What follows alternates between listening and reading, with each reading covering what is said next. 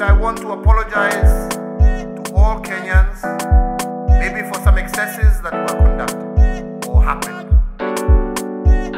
But I want to assure you that if we work together, my brothers and sisters, we will overcome. If we all understand that this problem needs all of us. All of us.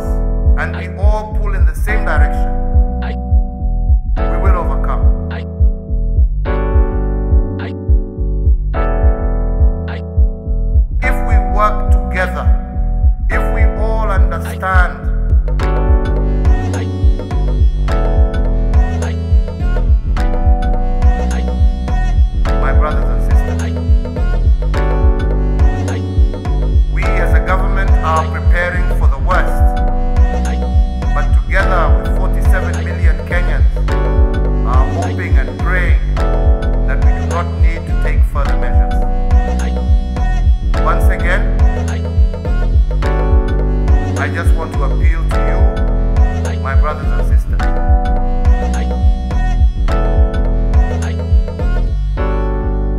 This is not a problem that knows tribe, that knows age, that knows race, that knows region that you come from.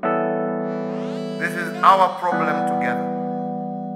And so long as we face it together, we shall overcome.